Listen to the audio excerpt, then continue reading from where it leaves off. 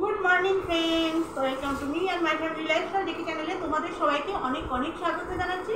আশা করছি তোমরা সবাই ভালো আছো, খুব ভালো আছো, আমরাও সবাই ভালো আছি। আজকে রবিবার, আমি ঝুমা একটা নতুন ব্লগ নিয়ে তোমাদের সঙ্গে চলে এলাম। আজকে আমি সারাদিন কী কী করব, না করব সব কিছু শেয়ার করতে। তোমরা আমার সঙ্গে থাকো আর আমার ব্লগটা দেখতে থাকো। আশা করছি তোমাদের আমার ব্লগটা নিশ্চয়ই ভালো লাগবে। আর যদি আমার ব্লগটা ভালো লেগে থাকে, তো প্লিজ আমার চ্যানেলটিকে সাবস্ক্রাইব করে দিও।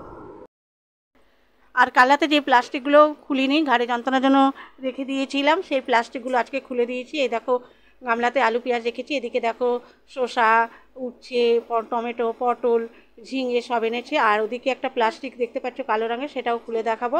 আমার এগুলো সব আজকেই লাগবে, কারণ আমার চাল বাড়ন্ত হয়ে আছে, সর্ষের তেল বাড়ন্ত হয়ে আছে পাঁচফোড়ন অল্প আছে, কালো জিরে অল্প আছে, সেটা নানিয়ে নিলাম। আর ওদিকে দেখো সাবান, কাচার পাউডারও নেই, সেটাও নানিয়ে নিয়েছি। সকাল সকাল এগুলো খুললাম কেন? প্রত্যেকটা কাজের জিনিস প্রত্যেকটা কাজের জিনিস আমার আজকেই দরকার। কোনোটা ছাড়া আমার চলবে না। সকালের শুরুতেই সব কিছু দরকার, সেই জন্য কালকে রাতে বললাম না, খুব খুব ঘাড়ে যন্ত্রণা করছিল সেই জন্য খুলতে পারিনি। তো এখন খুলে এগুলোকে এখন ধোয়া হবে সবজিপত্রগুলিকে, আর ভাত বসাবো। মা ওইদিকে আটাটা মাখবে। তো চলো চা খাইনি এখনও চাটা খেয়ে তারপরে কাজকর্মগুলো শুরু করে দিচ্ছি আর আজকে সকাল থেকে মেঘলা আকাশ একদম। কোনো রোদের ছটা পর্যন্ত নেই। বৃষ্টি হবে বেলার শেষে মনে হচ্ছে। তো চলো উঠি। আর এদিকে দেখো, সবজি নিয়ে আসছি আমি। সবজিগুলো ধুয়ে নেব। ধুয়ে নিয়ে রেখে দিয়ে তারপরে একটু চা খেতে বসবো, জানো তো? চা না খেয়ে আমার একদম কাজ করতে ইচ্ছে করে না। আর সবজিগুলো যদি কালকে রাতে ধুয়ে রাখতাম, তাহলে সুবিধা হতো আজকে। সকালবেলা ধুতে হতো না। সকালবেলা একটু এক্সট্রা কাজ বেড়ে গেল। কিন্তু কী করব বলো? শরীর যদি ভালো লাগে, তবেই না কাজ করা যায়। আর শরীর যদি না ভালো লাগে, একটুও কাজ করা যায় না, কিচ্ছু ভালো লাগে না, দেখবে? তো চলো, সবজি তো আমার ধোয়া হয়ে গেল এখানে, রেখে দিয়ে একটু চা খেয়ে আসি। তারপরে আলু পেঁয়াজগুলো এখনও ধুয়ে উঠতে পারিনি। আলু, পেঁয়াজ, আদা, সমস্ত কিছু পরে আমি ধুয়ে নেব। আর এখানে দেখো, আমি চালটাও ঢেলে নিচ্ছি কারণ আমার ভাত বসাতে লাগবে। মা সুমলের চা হয়ে গেছে? মেয়ে ঘুমোচ্ছে। আজকে তো রবিবার। মেয়ে আরও আজকে একটু দেরি করে উঠবে। আজকে রান্না করতে করতে আমার অনেক বেলা হয়ে যাবে। ঘুম থেকে আমি সকালবেলায় উঠে গেছি, দেরি করে আজকে উঠিনি। আজকে যে ব্লগটা পোস্ট করব সেটা এডিটিং করছিলাম। হাফ এডিটিং হয়েছে ফুল এডিটিং এখনও হয়নি। রান্না বান্না করে আবার হাফ এডিটিং করে তবে আজকে আমি পোস্ট করতে পারব।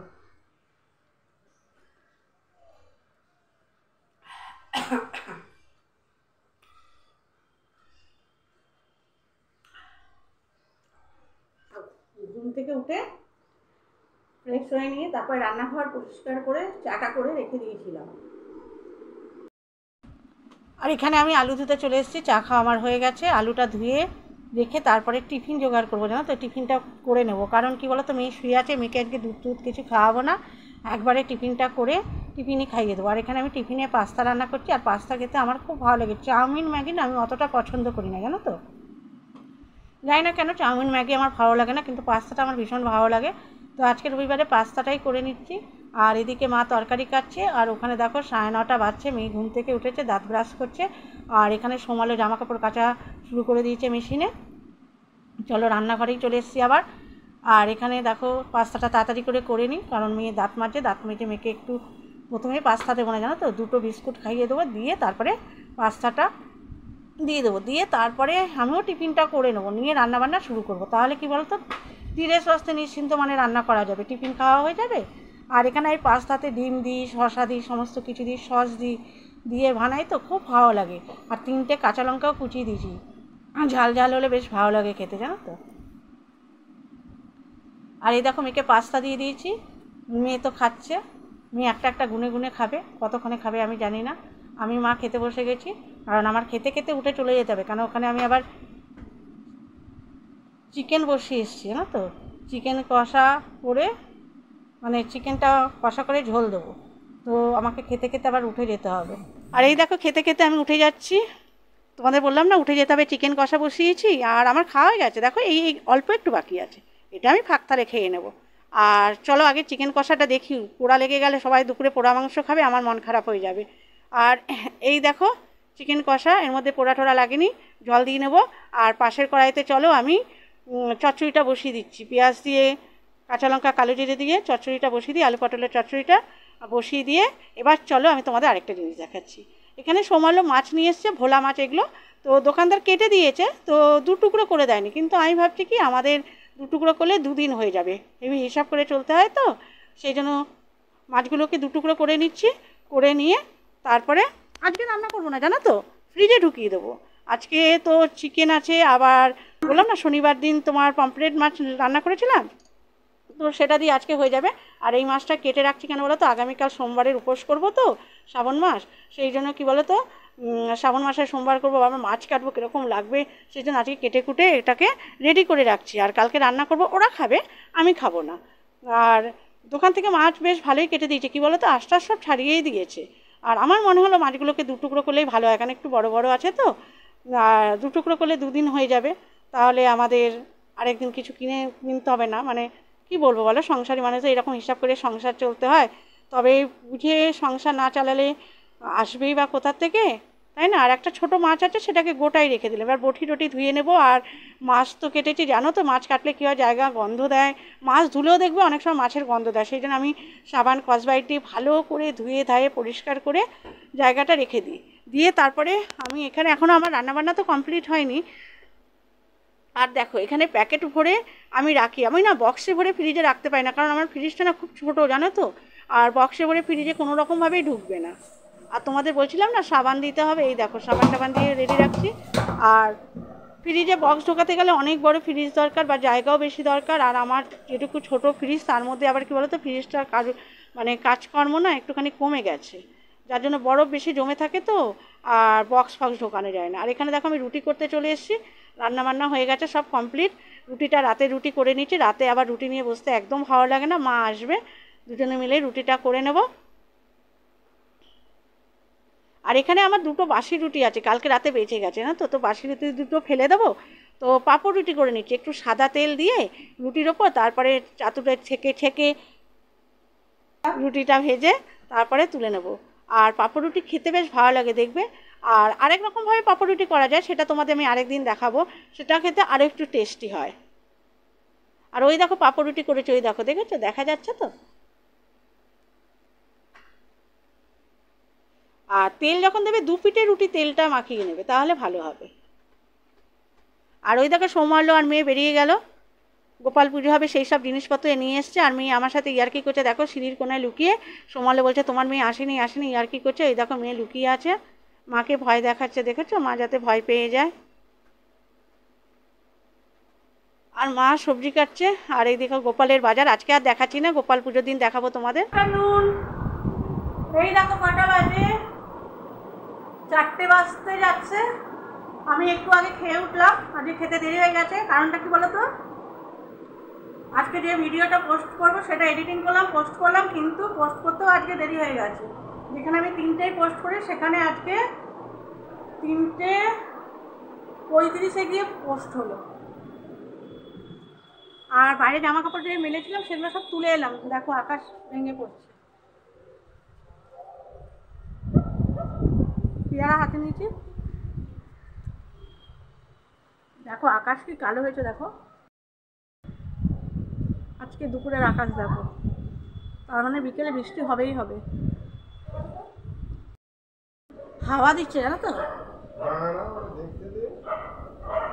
ঠান্ডা ঠান্ডা হাওয়া দিচ্ছে। কোনো সাইডে না মনে হয় বৃষ্টি হয়েছে। এই জন্য হাওয়াটা দিচ্ছে। আর আমি এখন যাব একটু রেস্ট নিতে। এক ঘণ্টা মতো রেস্ট নেব, তারপর উঠে যাব। চলো।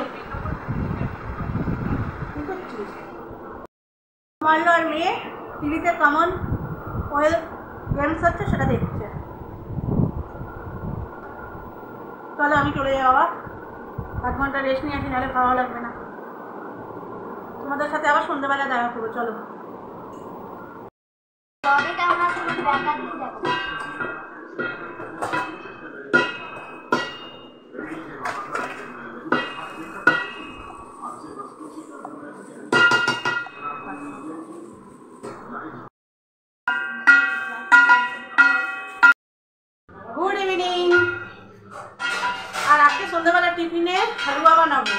দেখো, সব বাসনপত্র বের করা। দাঁড়াও।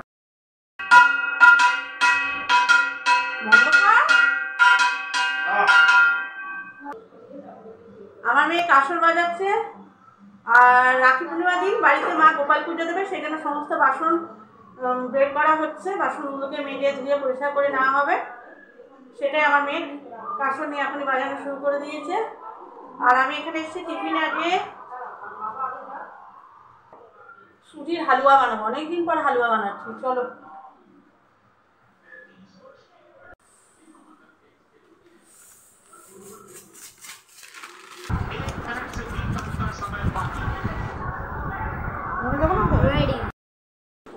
আর এখানে দেখো আমি সেজে গুজে রেডি হয়ে গেছি। বাসনের দোকানে যাচ্ছি। এরকম একটা পাঁচ লিটারের প্রেশার কুকার এটা খারাপ হয়ে গেছে, জানো তো? এটা সিটি প্রেশার বসালে খালি সিটি হয়ে যায় প্রেশার হয় না। আর এটা হচ্ছে পলি তিন লিটার, এটা হচ্ছে তিন লিটার। এটাও একই মানে অবস্থা প্রেশার বসালে ভেতরে ভেতরে সেদ্ধ হয়েই যাচ্ছে, কিন্তু একটা সিটি ওঠে না।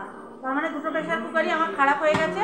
ফেরত দিয়ে যাচ্ছি একটা প্রেশার কুকার কিনতে। তো চলো আমাদের সাথে। আমি আর সোমবার যাচ্ছি। ওকে মায়ের কাছে রেখে যাব আমি রাস্তা শান্তি পাবো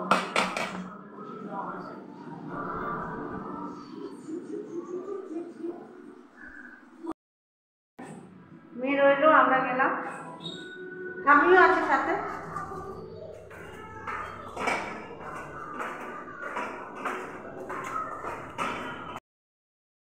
কাজের চুড়ি এ দেখো, মা চলে এসছে।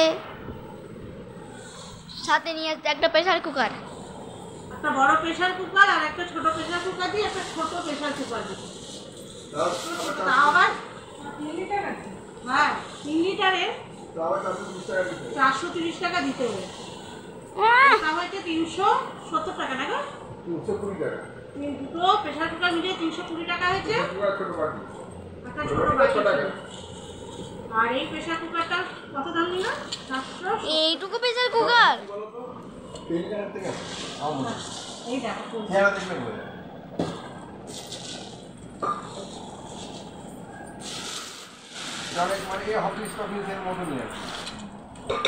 কত ছোট তাহলে জিনিসের কত দাম।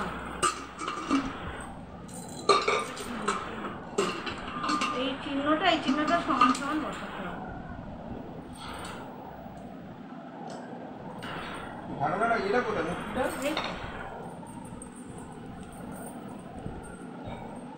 এটা হচ্ছে শ্যাম। এটার দাম নিল সাতশো সত্তর টাকা। কত জিনিসের দাম হয়েছে তাহলে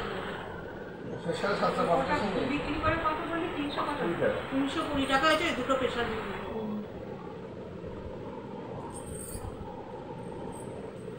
এটা আওয়াজ হচ্ছে। এটা খুব করেছে কি হলো গো? জল গরম করে দেখতে বলেছে ঠিক থাকলে তো কোনো ব্যাপার নেই গন্ডগোল হলে একটু নিয়ে যেতে হবে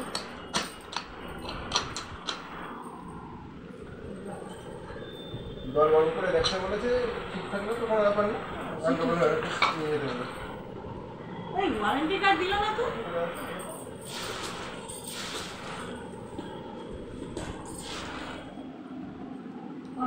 কত দিনের ওয়ারেন্টি আর এতক্ষণ দিদি নাম্বার ওয়ান দেখছিলাম। এখন পনেরো দশটা বাজে প্রেশার কুকারটা নিয়ে আসলাম। চেক করে দেখার জন্য যে প্রেশার কুকারটা সিটিটা ঠিক মতো দিচ্ছে কিনা নাহলে আবার দোকানে নিয়ে যেতে হবে। তো নতুন প্রেশার কুকার তো একবার দেখে নেওয়া ভালো। নাহলে আবার দশ দিন পরে যখন করব সিটি বেরোবে না তখন দোকানদার আবার নেবে কি নেবে না সেখানেও তো একটা ব্যাপার থাকে। তো চলো প্রেশার কুকারটার মধ্যে জল ভরে দেখিনি সিটি দেয় কিনা। আর প্রেশার কুকারে চেক করার জন্য খালি জল দিয়ে বসিয়েছিলাম। সিটি দিচ্ছিল না, আবার খুলে আলু দিলাম ভেতরে। এবার দেখো সিটির আওয়াজ হচ্ছে, মনে হচ্ছে সিটিটা দিয়ে যাবে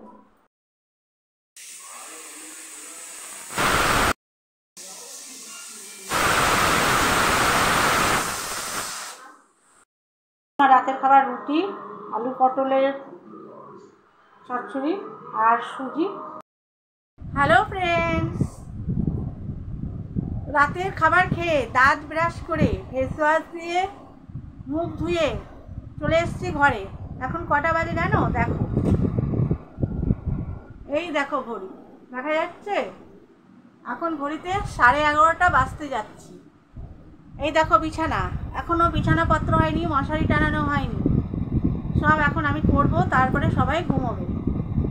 আর আজকে সকালবেলা যখন চিকেনটা রান্না করলাম, ভাবলাম রাতে রুটি দিয়ে চিকেনটা রাতে যখন খাবারটা বাড়তে গেলাম, তখন মনে হলো দূর কালকে সোমবার করব, আগামীকাল সোমবার। আর শ্রাবণ মাসের, এটা মনে হয় চারটে সোমবার, আর একটা সোমবার থাকবে। তো লাস্ট সোমবারটা করে উঠতে পারব কিনা জানি না, এই সোমবারটা একটু ভালো আছি। মানে আজকে দেখেই বুঝতে পারছ, আজকে রাতে শরীরটা বিশেষ খারাপ করেনি, সেই জন্য ভাবলাম, আর স্কুলও ছুটি, স্কুল ছুটি বলতে গেলে অনলাইন ক্লাস হবে বাড়িতে।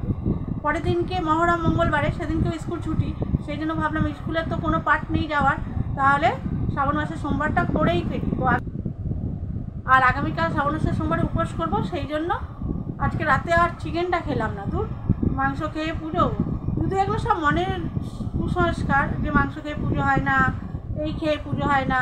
তো দিনের বেলা তো মাছ খেয়েছি, কিন্তু রাত্রেবেলা আর খেতে ইচ্ছেই করল না। সেই জন্য আলু পটল চচ্চড়ি আর সুজি দিয়ে তোমাদের দেখালাম। রাতে ডিনারটা করে নিলাম। করে ঘরে চলে এসেছি। এইবার শুয়ে পড়ব। মেয়ে আজকে সারা দুপুর ঘুমোয়নি এখন সামনে শুয়ে আছে। চোখ ঘুমন্ত অবস্থায় এসে গেছে মানে ঘুমোবে। কিন্তু কি বলতো? আমার মেয়ে সহজে ঘুমোতে যায় না। বুঝেছ? ওই আমি কি ওর পাশে শোবো, তবেই আমার মেয়ে ঘুমিয়ে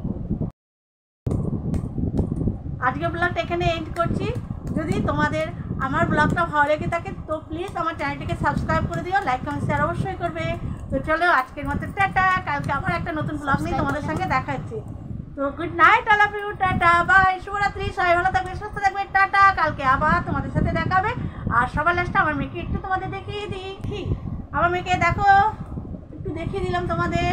আর সাবস্ক্রাইব করার সময় পাশের বেল আইকনটা অবশ্যই টিপে যাবে কি আমরা না অবশ্যই তোমাদের নোটিফিকেশন অন হয়ে যাবে কিন্তু আমরা যখনই ভিডিও পোস্ট করব তোমাদের কাছে সঙ্গে সঙ্গে পৌঁছে যাবে।